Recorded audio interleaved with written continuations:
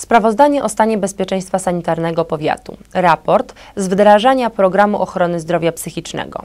To główne punkty 19 sesji Rady Powiatu Kraśnickiego. Oprócz tego radni rozmawiali o aktualnym problemie bocznicy kolejowej i sytuacji w samodzielnym publicznym zakładzie opieki zdrowotnej.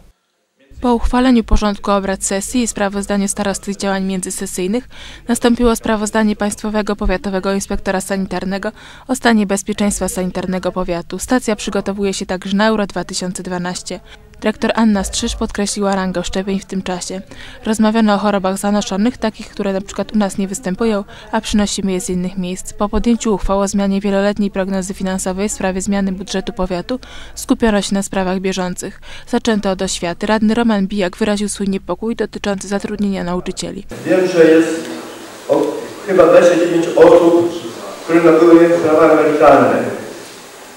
Czy nie ma możliwości, żeby te osoby poszły na emeryturę, a pracowały osoby młodsze? Radny Czerw powiedział, że szkoły stoją w punkcie zatwierdzenia arkuszy organizacyjnych. Dopiero przed naborem będzie wiadomo, jaka będzie liczba etatów.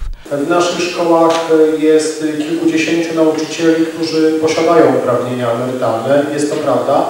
Przy czym należy powiedzieć to, że te uprawnienia to w tym wypadku przywilej, przywilej i przejście na emeryturę w przypadku tych nauczycieli to przywilej, a, a, a nie obowiązek. Poruszono temat spotkania z burmistrzem Kraśnika na temat losów bocznicy kolejowej, będącej możliwością komunikacyjną dla strefy ekonomicznej. Spotkanie nie rozwiązało problemu. Jesteśmy w tym momencie jeszcze bliżej, jeszcze bliżej tego, czego się obawialiśmy i o czym, o czym mówiliśmy już na poprzedniej sesji, czyli rozbiórki i torowiska. Pewnie również do Państwa dotarły informacje dotyczące tego, że już zostało ogłoszony przetarg na rozbiórkę torów. Władze miejskie nie są zainteresowane przejęciem torów. Jutro będzie yy, omawiany yy, program strategii rozwoju miasta Kraśnika na lata 2012-2020. W tym programie jest wprost zapisane, że w przebiegu tej bocznicy ma przebiegać obwodnica północna.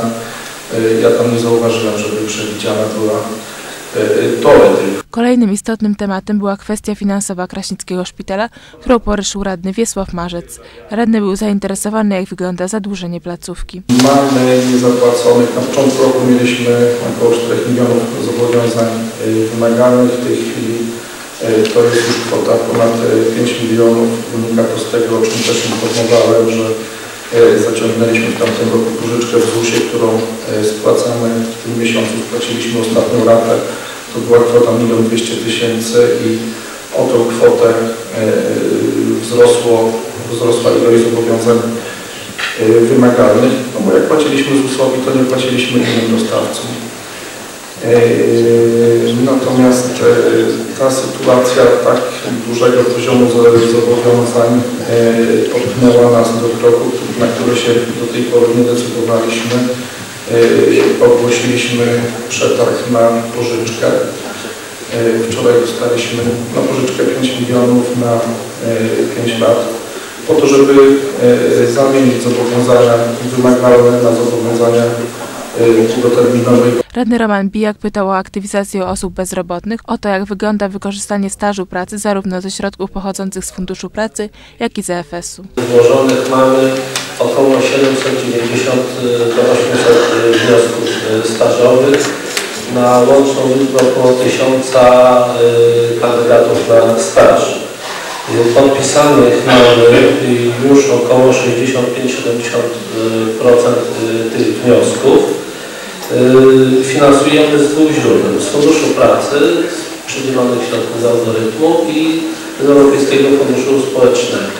Jeżeli chodzi o Europejski Fundusz Społeczny, już praktycznie cały projekt, jeżeli chodzi o staże, zamknęliśmy. Powiatowy Urząd Pracy w Kraśniku został wytypowany do projektu pilotażowego Twoja kariera, Twój wybór, mającego na celu aktywizację osób do 30 roku życia.